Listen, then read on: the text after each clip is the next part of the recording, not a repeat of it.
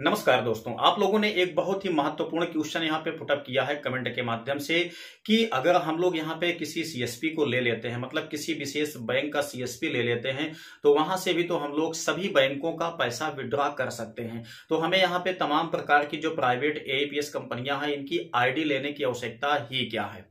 ठीक है? तो आपका ये क्वेश्चन बहुत ही लॉजिकल है। काफ़ी ज़्यादा एपीएस संचालकों के मन में इस चीज़ को लेकर के डाउट बना हुआ है। तो हम आज के इस वीडियो में आप लोगों का डाउट बिल्कुल क्लियर करने वाले हैं। आपको यहाँ पे इसका इन, जो कम, जो सही इंफॉर्मेशन है, वह मिल जाने वाली है। ठीक है? तो ये वीडियो मिस मत कीजिएगा। स्किप तो बिल्कुल भी मत कीजिएगा। अगर आप लोग इसका सही इन्फॉर्मेशन चाहते हैं तो।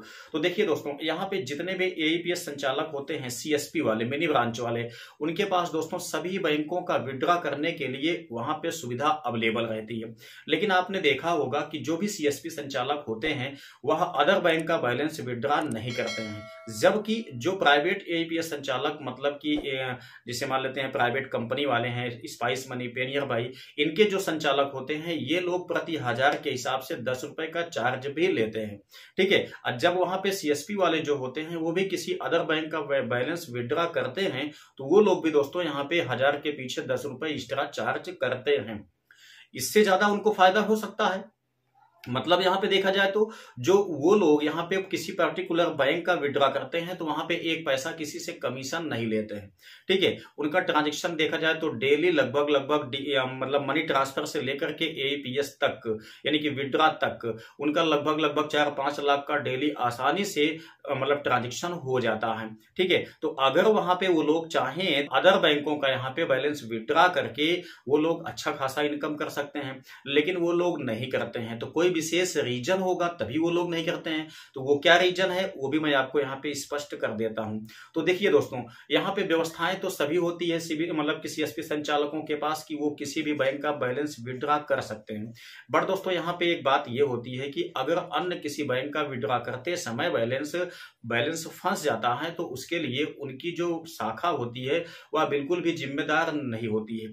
ठीक है? अगर वो अपने बैंक में इसकी कंप्लेन भी करते हैं कि हमारा पैसा इस बैंक में फंस गया है विड्रा करते समय तो बैंक मैनेजर उनको डांटेगा बहुत ज़्यादा, ठीक है? और साथ ही साथ कुछ भी उनका वहाँ पे हेल्प नहीं हो पाएगा, उनका बैलेंस फंस जाएगा।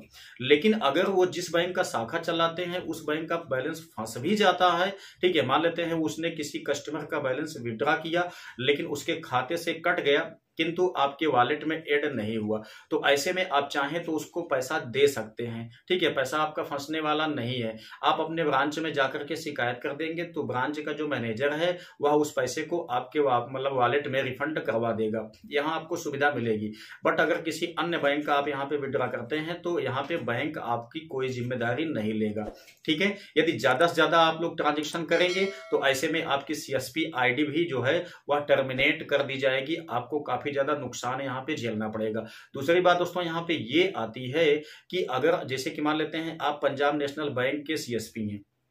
ठीक है? आपके पास कोई कस्टमर आया बैंक ऑफ़ बड़ौदा का वो चाहता है कि आप हमारा विड्रा कर दीजिए। तो सबसे पहले यहाँ पे आपको इन्फॉर्म किया जाता है आपके आ, मतलब फ्रेंचाइजी की तरफ़ से कि आप पहले ये देखिए कि आपके आसपास में तीन किलोमीटर के रेंज में कोई बैंक ऑफ़ बड़ौदा का सीएसपी संचालक मौजूद है कि नहीं है? अगर मौजूद है तो ऐसे कस्टमर का विड्रा आप बिल्कुल भी मत कीजिए उसको उसके शाखा में भेज दीजिए। ठीक है? ये इन लोगों का एक विशेष बात होती है, विशेष नियम होता है।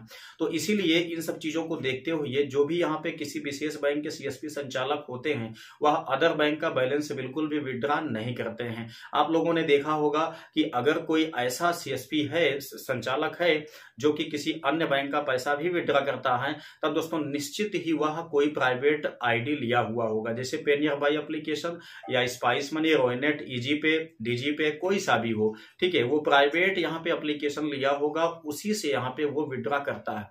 ठीक है?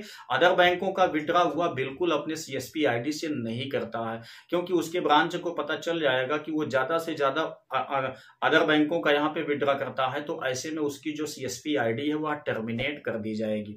ठीक है? उसको जुर्माना भी शायद यहाँ पे भरना पड़ सकता है। तो ये बहुत ही काम की इंफॉर्मेशन है। अगर आप लोग चाहते हैं कि सीएसपी लें तो सीएसपी लेने के साथ साथ में अपने दिमाग से ये बात निकाल दीजिए कि हम उसी आईडी से सभी बैंकों का बैलेंस आसानी से विड्रा कर पाएँगे। ठीक है? तो ऐसा बिल्कुल भी नहीं होता है। ऐसा आप लोग बिल्कुल भी मत सोचिएगा। बस यही बात है कि अगर आप लोग सीएसपी लेते हैं अदर बैंक का बैलेंस भी विड्रा करना चाहते हैं तो आपको कोई ना कोई प्राइवेट आईडी परचेज करनी ही पड़ेगी। ठीक है? और साथ ही साथ जानते हैं कि आपको यहाँ पे जो मतलब सीएसपी वाले होते हैं वो दोस्तों सभी जो व्यवस्थाएँ होती हैं, जैसे कि मान लेते हैं रजिस्टर मेंटेनेंस हो गया, या आपका जो मतलब प्रिंट रिसिप्ट हो गया, वो देना हो गया, ठीक है? इन सब चीज़ों को दोस्तों वो लोग बिल्कुल मेंटेन करते हैं कस्टमर का साइन करवाते हैं कस्टमर का अकाउंट नंबर भी लिखते हैं, ठीक है? उनका जो ट्रांजेक्शन आईडी होता है, वो भी वो लोग लिखते हैं। साथ साथ आप लोग जानते हैं कि उनके पास दोस्तों यहाँ पे सीसीटीवी की व्यवस्था भी लगभग लगभग मौजूद रहती है, ठीक है? तो ये सारी चीज़ें उनको मेंटेन करनी पड़ जाती है। तो अगर आप लोगों के मन में ऐसा कोई डाउट था दोस्तों। तो उम्मीद करते हैं कि अब आप लोग बिल्कुल भी इससे क्लियरफाई हो चुके होंगे। सीएसपी अगर आप लोग लेते हैं तो सीएसपी से आप लोग अदर बैंक का बैलेंस विड्रॉ करने के विषय में बिल्कुल भी ना सोचें, तभी आपके लिए ज़्यादा अच्छा होगा। तो चलिए मिलते हैं नेक्स्ट वीडियो में एक नई जानकारी के साथ। साथ साथ अगर आपको किसी भी टॉपिक पे दोस्तों डाउट है, कुछ भी आप जानना चाहते हैं तो नीचे कमेंट बॉक्स में आप लोग अवश्य टाइप कीजिए।